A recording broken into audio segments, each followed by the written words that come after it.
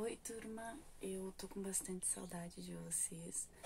É estranho, né, dar uma aula ou uma explicação, enfim, assim, olhando pra câmera, mas vamos lá, né? É o que a gente tem por enquanto de formas de nos comunicarmos com vocês.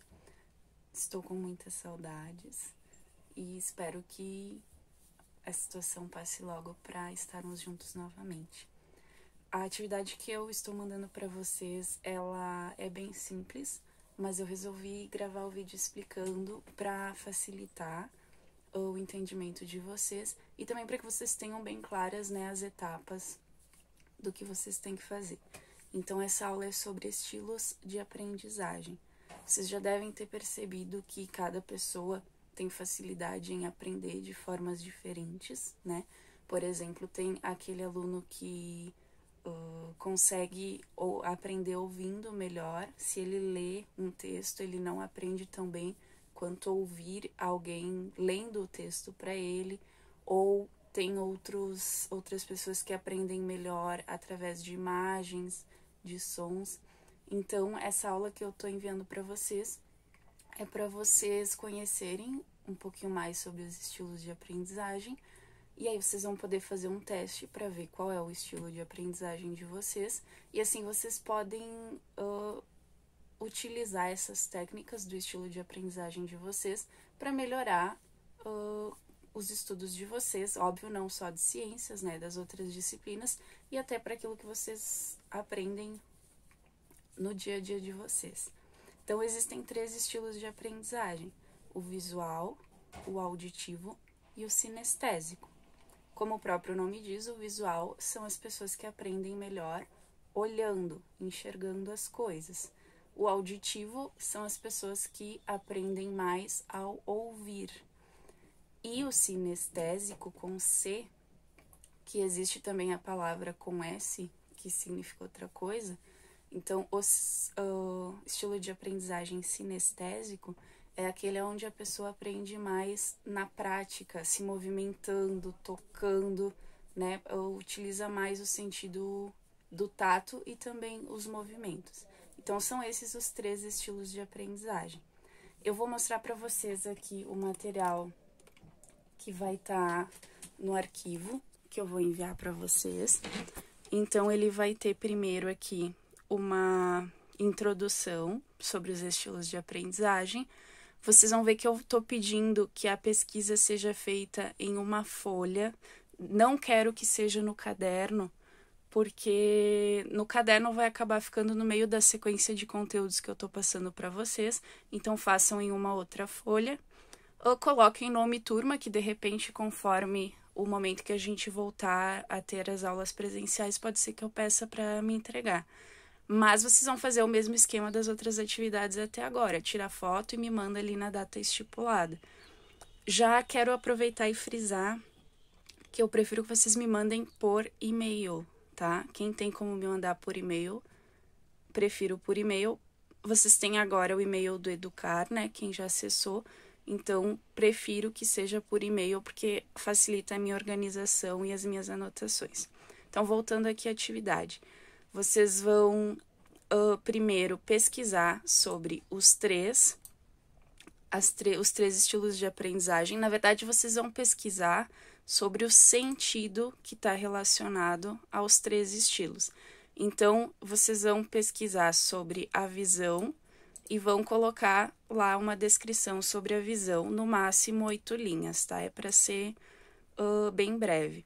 Aí vocês vão pesquisar sobre a audição e depois sobre a propriocepção. Essa propriocepção é o sentido relacionado a movimento, a toque, que estaria né, relacionado então ao sentido do estilo de aprendizagem sinestésico.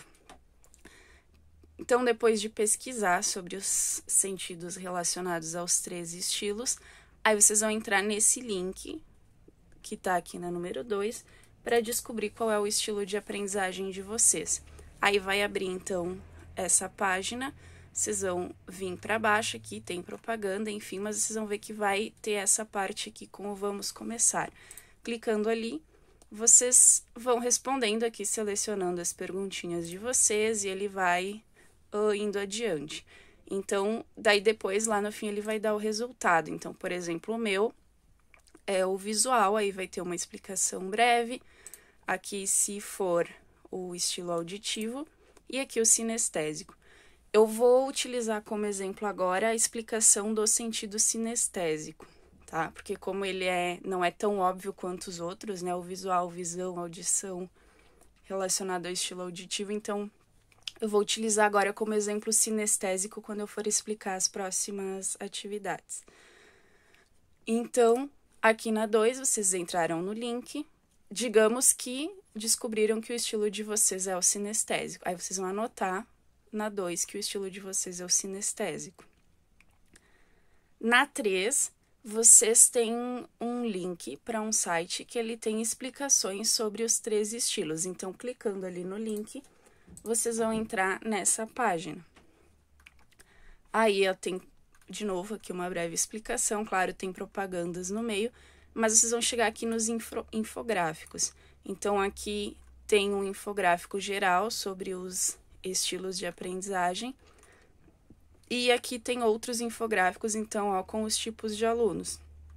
Então, quem fez o teste e deu uh, que o seu estilo é o visual, vai copiar isso aqui no número 3. Quem fez o teste e deu que o seu estilo é o auditivo, vai copiar esse infográfico aqui que está em verde. E quem fez o teste e deu o sentido sinestésico, copia esse infográfico em rosa. Então, vocês vão ver que cada infográfico tem né, o melhor tipo de prova, os métodos de aprendizagem e as características dessas pessoas. Então, no número 3, vocês vão copiar só o infográfico do seu estilo, do seu teste. E aí, na 4, eu quero um desenho sobre o sentido que está relacionado ao estilo de aprendizagem de vocês. Então, obviamente, se lá no teste o estilo de aprendizagem de vocês deu visual, eu quero um desenho sobre o funcionamento do olho humano e das partes do olho humano. Vocês vão pesquisar no Google Imagens e vão ver ali a, a imagem do olho que vocês acharem melhor de copiar. Se no teste de vocês o estilo de aprendizagem deu auditivo ou sinestésico, aí vocês vão fazer um desenho da anatomia da orelha, também indicando as partes, tá? Eu coloquei o sinestésico aqui junto com o auditivo, porque o órgão do equilíbrio faz parte aqui do aparelho auditivo. Então, uh, para ficar mais fácil aqui, então, tanto quanto seja lá qual der, se for auditivo ou sinestésico, uh, faz o desenho da anatomia da orelha. Se der o estilo visual, faz o desenho do olho humano. Acho que é isso. Espero que vocês tenham entendido bem a explicação. E qualquer dúvida, me chamem, perguntem. Uh, e espero que essa aula ajude vocês a estudar melhor, de forma mais eficaz, não só nas minhas aulas, mas em todas as aulas e também na vida de vocês mesmos.